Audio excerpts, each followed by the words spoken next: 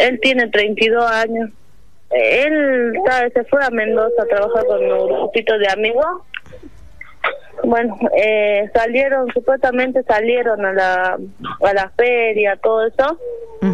Y como a la una de la madrugada, por ahí lo llaman a mi papá y lo dicen, le dicen, eh, no, dice, no sabemos nada de él, se ha desaparecido. Supuestamente le habían llevado los policías, todos. Y fuimos a averiguar en todas las comisarías de Mendoza, hemos averiguado. Y nos dicen que él en ningún momento ha sido demorado. Y, antes de ayer viajó mi papá a Mendoza y se acercó por todas las comisarías y en la comisaría le dijeron que no, que él no, no fue detenido ahí. ¿Cuándo fue la última vez que ustedes tuvieron conocimiento de Darío? ¿O cuándo fue que salieron con, con los amigos? El domingo 18 ah. del 2 del 2024. El domingo al mediodía, como a la una, por ahí se comunicó con él, han llamado como a la una del mediodía. Sí. Bueno, mi papá habló todo con él.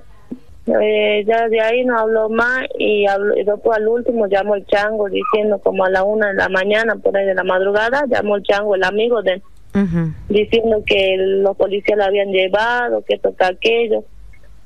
Y mi papá le ha dicho, ustedes no han ido a ver, no, dice, no sabemos nada nosotros. Y bueno, y andábamos acá, casa por casa, como somos familia de bajos recursos.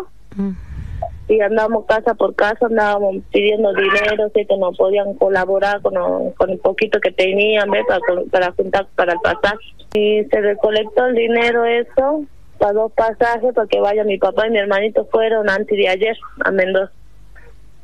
No, nadie le dice nada, lo único que le han dicho es que ellos tienen que venir y que de acá llamen a la fiscal, a la fiscalía.